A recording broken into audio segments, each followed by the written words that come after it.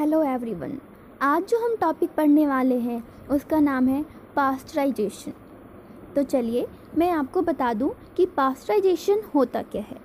Basically pasteurisation एक ऐसा process होता है, जिसमें फ़ूड आइटम्स में प्रेजेंट माइक्रो ऑर्गेनिजम्स को और माइक्रोब्स को किल किया जाता है मेनली बैक्टीरिया को.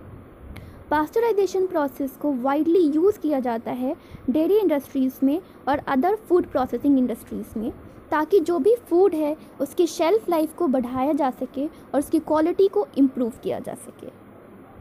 पास्चराइजेशन में पैथोजेनिक माइक्रो ऑर्गेनिजम्स को एलिमिनेट किया जाता है और माइक्रोबियल लोड को कम किया जाता है, ताकि जो भी फ़ूड आइटम्स है लाइक जूसेस मिल्क उनकी क्वालिटी जो है वो इन्हेंस हो जाए और उनकी शेल्फ़ लाइफ जो है वो इंक्रीज़ हो जाए।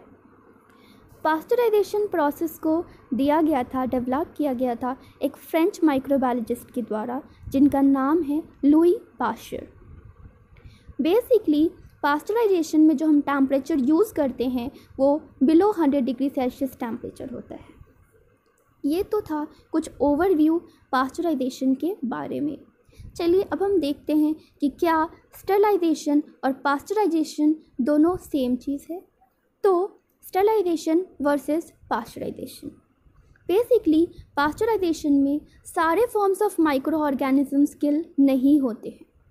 फ़ूड आइटम्स में प्रेजेंट जितने भी माइक्रो ऑर्गेनिजम्स होते हैं, वो सारे के सारे किल नहीं होते हैं इस प्रोसेस से।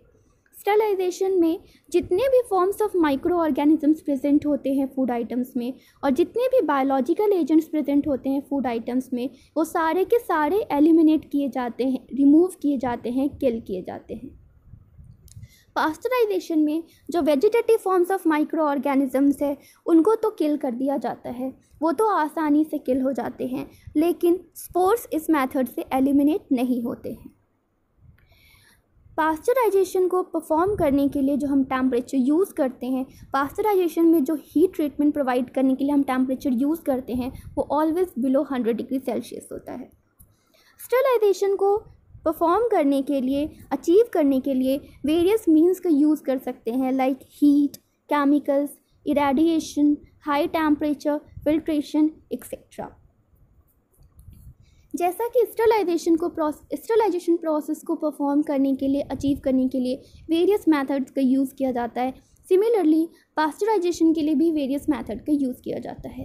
तो जो पहला मेथड है, वो है high temperature short time that is H T S T high temperature short time method को फ्लैश मेथड भी कहा जाता है, जिसमें 72 डिग्री सेल्सियस टेम्परेचर पर फिफ्टीन सेकेंड्स के लिए हम हीट ट्रीटमेंट प्रोवाइड करते हैं।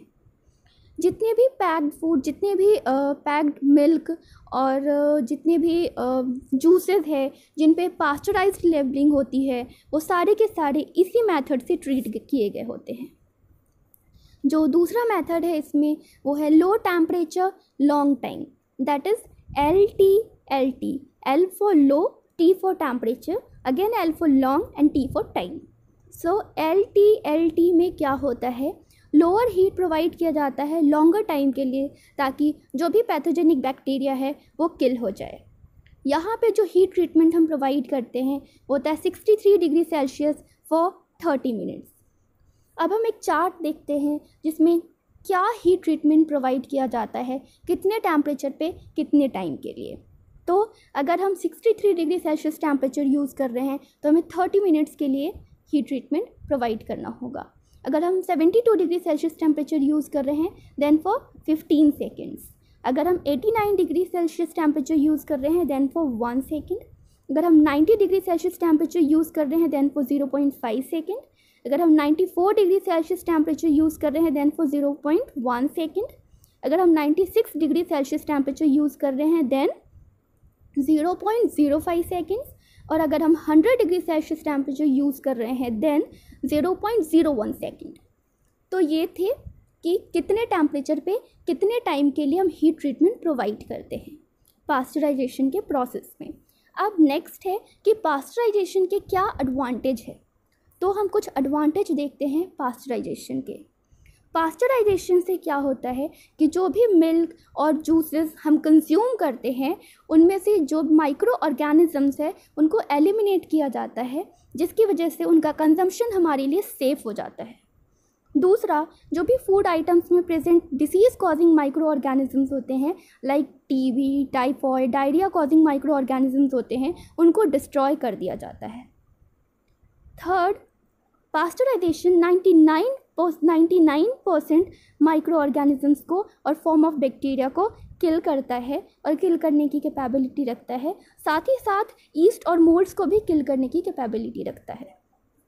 पास्चराइजेशन से हमारे जो भी फ़ूड आइटम्स है, उनकी क्वालिटी इन्हेंस हो जाती है और उनकी शेल्फ लाइफ जो है, वो इंक्रीज़ हो जाती है। तो ये थे कुछ एडवांटेजेस पास्चराइजेशन के। Thank you so much